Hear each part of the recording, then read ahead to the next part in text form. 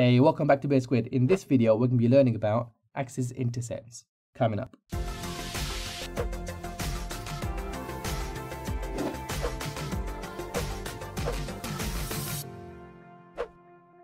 So let's look at what the intercepts represent. The x-intercept of a line is the x-coordinate of the point where the line cuts the x-axis. So that's my x-axis here running across horizontally. And my straight line, my linear equation, is cutting through at a point where the line cuts the x-axis is called the x-intercept. Likewise, the y-intercept of a line is the y-coordinate of the point where the line cuts the y-axis. So again, as this straight line cuts through now the y-axis, the y-coordinate of the point where the line cuts the y-axis is called the y-intercept. So let's have a look at an example.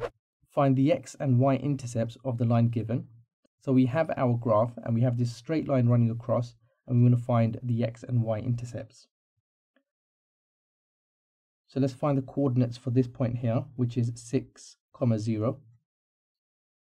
And the coordinates for this point here, which is 0, comma negative 4. So the line cuts the x-axis at 6, comma 0. So the x-intercept is 6. That's the point where it cuts the x-axis. And likewise, if we look at the y-intercept, the line cuts the y-axis at 0, comma negative 4, so the y-intercept is negative 4. Let's jump on to the last example. Draw the graph of the line with x-intercept negative 2 and y-intercept negative 3 and find the gradient of the line. So let's plot this on a grid. We've got our two points here and here that's the point where we have the x-intercept at minus 2.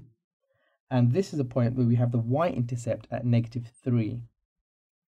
So let's draw a straight line through. And let's label the coordinates.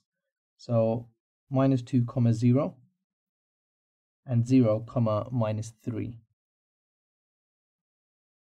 So the gradient then would be negative 3 minus 0 over 0 minus negative 2, which gives us a gradient of minus 3 over 2. So therefore we have a negative gradient of 3 halves.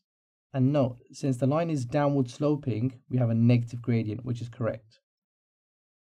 Make sure you watch my video on how to work out the gradient using the gradient formula. I'll link that in the cards above, or you can watch it in the playlist. If you have any questions, put them in the comment section below and share this with a friend who you think would find it helpful. I'll see you next one.